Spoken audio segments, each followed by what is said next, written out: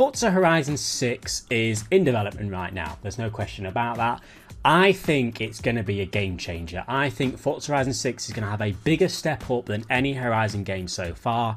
That is kind of to be expected. What can we expect from Forza Horizon 6 and why do I think that it's going to be the most different Horizon game with the most customization that we've ever had? Let's talk about that now. The first thing that people want to know about Horizon 6 is when is it coming? And the answer to that is we don't know.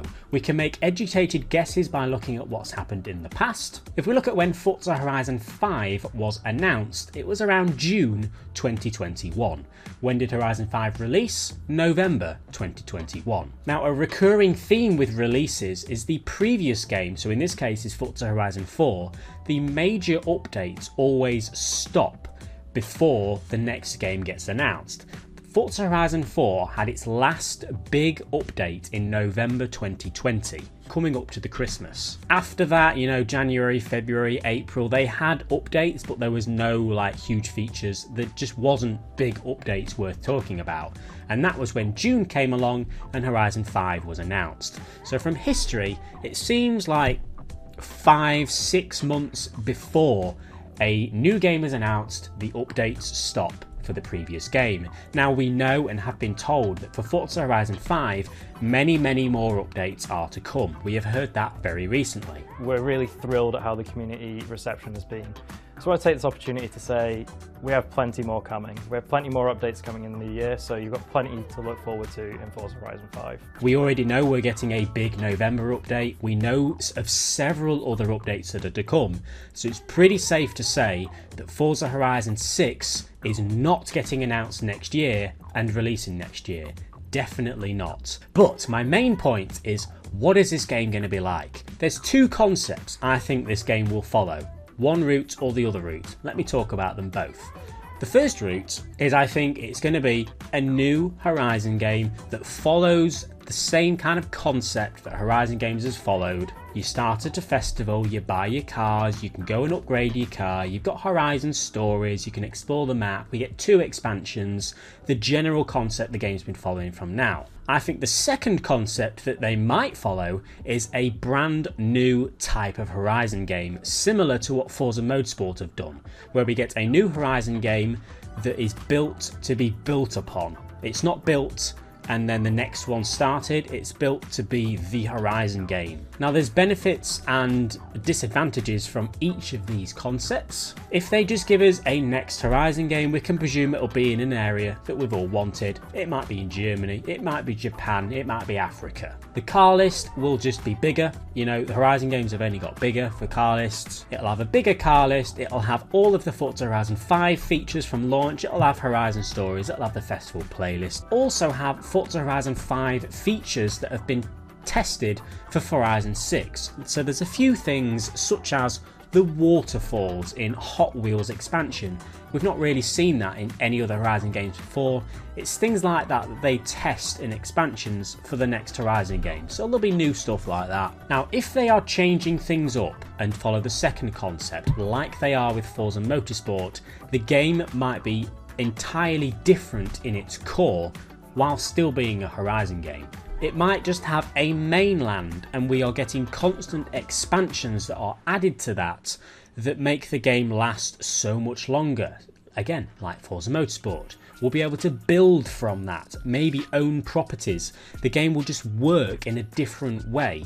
Do you see what I mean? The car list might actually be smaller because they have worked on it a bit more in depth, exactly like Forza Motorsport. That is the comparison I'm making here. There will be some Forza Horizon 5 features, but not all of them because, again, they are following a different concept. For a game like this, I think we should expect a release date that's later just like Forza Motorsport had a later release date, there was a lot of years between 7 and the current Horizon, uh, current Motorsport. So if they are changing how Horizon works, I can expect maybe 2026, you know, a while away. Now, will it be worth waiting the extra time for a Horizon game? I think so. If we go to the suggestions hub of Horizon 5, this is where they're going to get all of the features for for Horizon 6. I mean, it makes sense. Why would they get it from anywhere else other than where we've suggested them? Do you know what I mean? There is one thing that almost every single person who plays Horizon full stop wants more of, and that's customization. And it's the thing that Forza have really slowed down on. They're lacking now. If Forza Horizon 6 wants to be the game that everybody wants it to be, if it wants to succeed, I'm imagining Forza Horizon 6 having insane customization, being able to buy garages. Forza Motorsport have done something, they've dipped their toe into this by allowing you to show your cars in the showroom of the menu.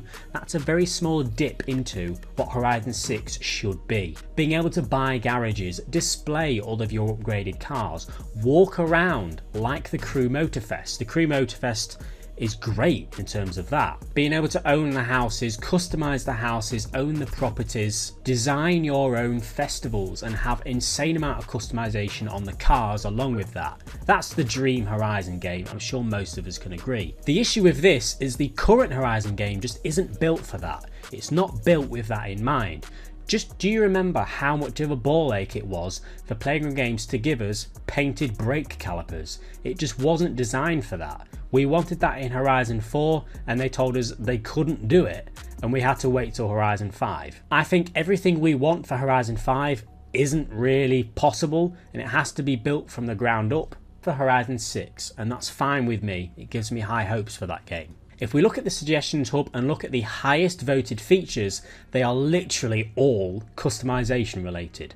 Forza Aero is at the top. New Forza Aero is it's just more customization basically. One under that, interior customization. Exactly, that's more customization. We want custom cars. Below that, manual headlights, hazard lights, light bars, fog lights, indicators. We all want that. Customizable exhausts. We all want that. LED underglow. It's a bit chavvy, but I wouldn't say no to it. Window stickers. That is an extremely high voted feature, even as back as Horizon 3. The only reason they wouldn't give that to us is if it was just too much work. Whether it was too much work for Horizon 6, that's what I'm hoping it isn't. Drag car customization, again, is just more customization. OEM body kits, spoilers choice of OEM wheels. Bearing in mind these are the top voted features on the entire Horizon forums, it's obvious what the majority of the community wants, and I don't see why Horizon, I don't see why Playground Games won't be trying to do this for a brand new game that's built from the ground up. Horizon 6. The only spanner in the works is that Horizon 5 doesn't ever seem to be marketed and said to be a customization game. It's not a game that's all about customization. It's sold as more of a simcade, realistic ish exploration game. It's all about the environment, how pretty it looks, how accurate it is to the real life location.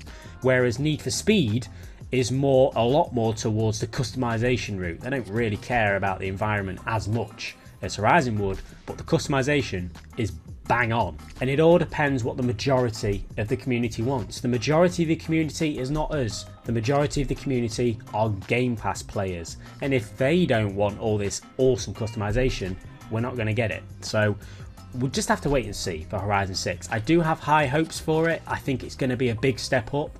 If we look at where Horizon 4 started and where Horizon 5 is now, it is insane the difference there is. Pop it down in the comment section below. What do you want out of the next Horizon game? Are you on board with what I think? And it's all about the customization, and I really hope they nail that. Or do you just want a new game? You don't want any major changes, major concept changes? Let me know, it's a discussion we're going to start having occasionally from now as Horizon 6 is approaching, but we're not quite there yet.